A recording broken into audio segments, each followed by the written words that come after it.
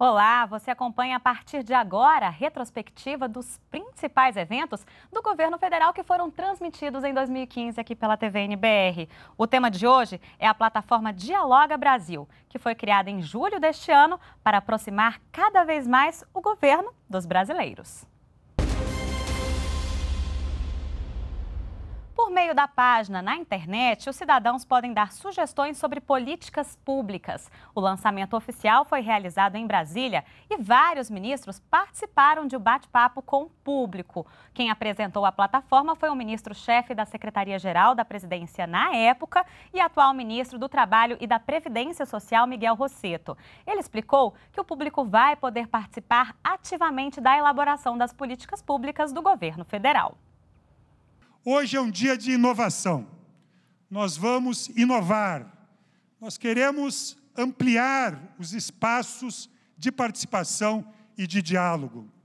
Nós queremos que todo cidadão brasileiro, da menor do menor ao maior município do nosso país, toda cidadã brasileira, do campo ou da cidade, da floresta ou da caatinga, de todas as idades, possa ter um canal direto de participação com o nosso governo, com o governo federal.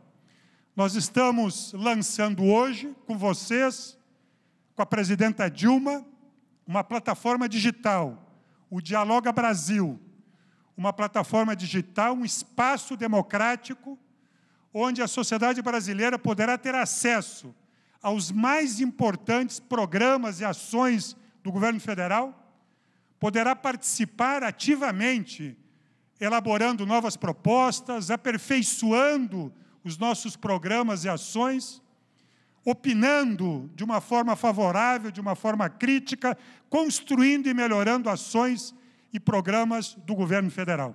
A presidenta Dilma Rousseff esteve no lançamento e reforçou a importância do diálogo para o bom funcionamento das políticas públicas no Brasil.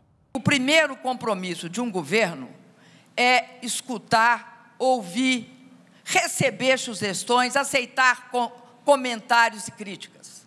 Nenhum programa social nosso, ele foi bem sucedido sem que nós sistematicamente olhássemos onde estavam as falhas, como é que a gente mudava, como é que a gente melhorava.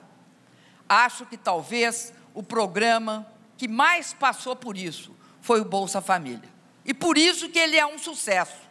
Porque nós não ficamos lá sentados achando que estava tudo bem e que ia ser assim mesmo. Não, a gente escutou o que tinha de ser mudado. A gente olhou o que tinha de ser mudado. Chegamos até, e ainda temos isso, nós contratamos auditoria para ver onde é que estavam as falhas do programa. Eu até digo para os ministros, eu não quero saber só o que está bom, não. Óbvio que eu quero saber o que está bom. Não se esqueçam de me contar. Mas eu quero saber o que está ruim. Dilma Rousseff também ressaltou que governar é saber ouvir críticas e sugestões. Nós queremos melhorar e só dá para melhorar tendo essa parceria. Aqui é a parceria do governo federal com a sociedade. Nós queremos ouvir Ouvir o quê?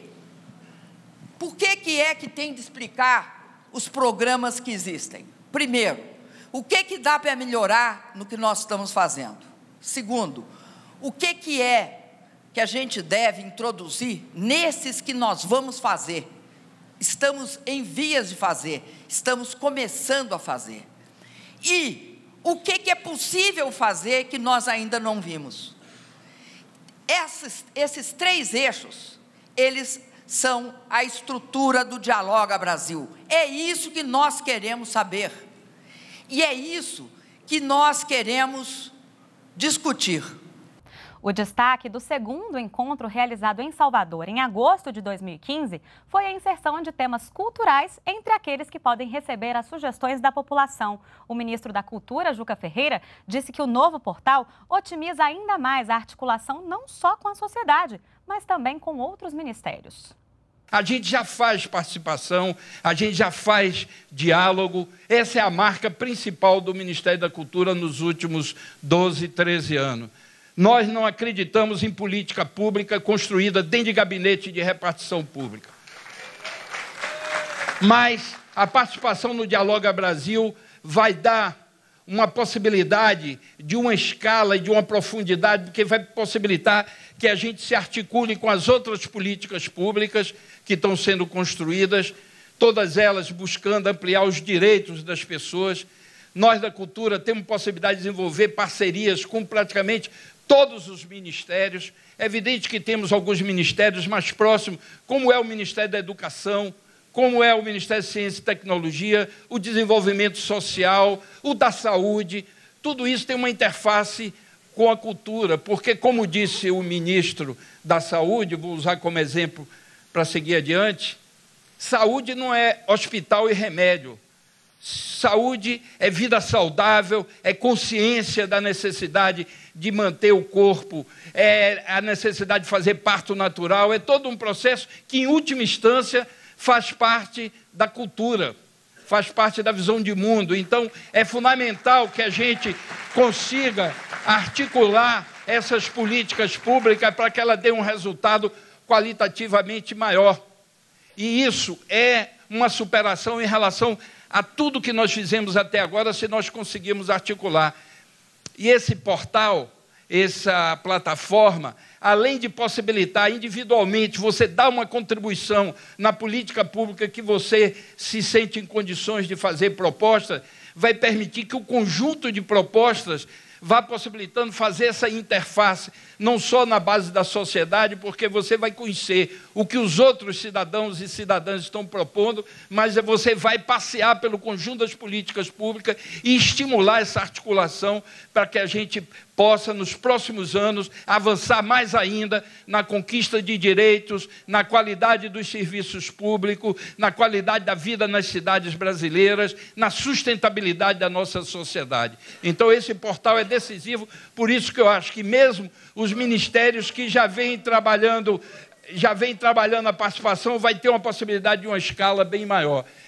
Além de Brasília e Salvador, as cidades de Recife, em Pernambuco, Fortaleza, no Ceará, João Pessoa, na Paraíba e Teresina, no Piauí, conheceram melhor a plataforma. E os brasileiros formularam várias sugestões que foram respondidas pelos ministros. Em Brasília, por exemplo, Aldenora Gonzalez, do Amapá, apresentou uma proposta de um banco de currículos para beneficiários do Bolsa Família. A sugestão foi respondida pela ministra do Desenvolvimento Social e Combate à Fome, Tereza Campelo. Existe um mito de que os usuários do Bolsa Família, que recebem, que são beneficiários desse programa, não querem trabalhar. Né? E a gente precisa jogar, jogar para baixo esse mito, tem que acabar com isso, precisa de justificar. Então, daí veio essa proposta, para que se tenha uma plataforma onde os próprios usuários possam se cadastrar, porque o próprio programa, através de todos os incentivos que ele leva para a saúde, para a educação, para o Pronatec, ele forma, está formando os usuários lá na ponta, mas esses usuários estão precisando de oportunidade de trabalho. Então, a partir disso, teria um currículo e nós veríamos o número de brasileiros que querem oportunidade de trabalho. Que bom ouvir uma proposta assim, porque às vezes as pessoas, quando pensam em incluir a população do Bolsa Família, fazem propostas assim: eu quero obrigar a pessoa do Bolsa Família a trabalhar, né? eu quero proibir de ter filho, né? quer dizer, uma coisa completamente autoritária e preconceituosa. E essa ideia de eu quero obrigar a pessoa a trabalhar parte do princípio de que a pessoa é pobre porque não trabalha. Primeiro, que não é verdade. No Brasil, a maior parte das pessoas são pobres, apesar de trabalhar, às vezes, apesar de trabalhar muito mais que nós, e mesmo assim não consegue ter uma renda suficiente para sustentar sua família com dignidade.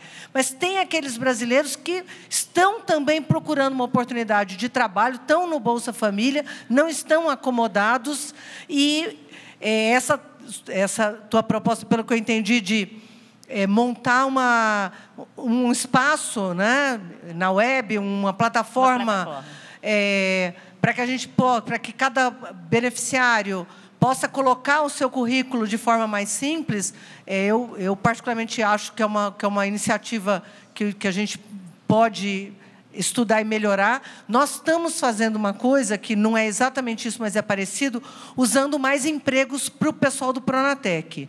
Então, a ideia é que o Mais Empregos é um espaço de alto intermediação, a pessoa pode botar o seu currículo, mas ele não é tão simples assim. Para o beneficiário do Bolsa Família, às vezes é mais difícil preencher o mais empregos, que é um pouco mais complexo. Então, talvez a gente pudesse simplificar essa possibilidade de usar o mais empregos e talvez até é, alguma oportunidade de que os empreendedores também tivessem um espaço, já que você falou de habilidades, né, para que eles também pudessem oferecer seu serviço. Então, nós vamos estudar assim com carinho. Eu fico feliz de ter uma proposta assim. Já em João Pessoa, na Paraíba, a presidenta Dilma Rousseff e a equipe de ministros ouviram várias sugestões, como a do advogado João Júnior, que propôs a inclusão de uma disciplina voltada ao combate de drogas já no ensino fundamental. A resposta a essa demanda foi dada pelo ministro da Justiça, José Eduardo Cardoso. Nós temos que atacar as organizações criminosas com a lei penal, com investigação, pegar os traficantes que estão nessas organizações dentro da lei, mas punindo também de acordo com a lei nós temos que tratar os usuários. Mas tem uma, um campo que nós seguimos, que é o campo da prevenção, ou seja, o campo da orientação social. E nós temos uma série de programas que são desenvolvidos pela Senad, que é uma secretaria do Ministério da Justiça, em conjunto com o Ministério da Saúde, justamente para que a gente possa estar desenvolvendo programas com pessoas, com líderes comunitários, com alunos, com professores, de capacitação e de orientação nessa questão das drogas. Então, nós temos cursos à distância que nós fazemos, nós temos programas com escolas, nós temos cartilhas que são feitas justamente nessa parte de prevenção que é de fundamental importância. Então, a tua pergunta vem exatamente dentro da nossa filosofia, ou seja, reprimir o traficante, tratar o usuário e a prevenção, desenvolver atividades de orientação nas escolas, junto a professores, junto a formadores de opinião social, justamente para que a gente possa ter uma estratégia eficaz.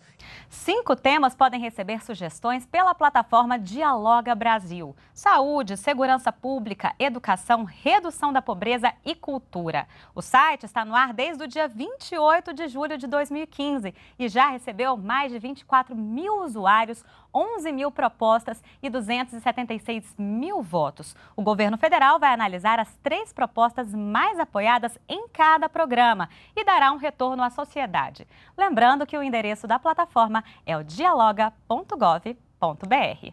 Você assistiu à retrospectiva sobre os encontros do Dialoga Brasil, plataforma lançada em 2015 pelo governo federal. Continue com a gente aqui na NBR, a TV do governo federal.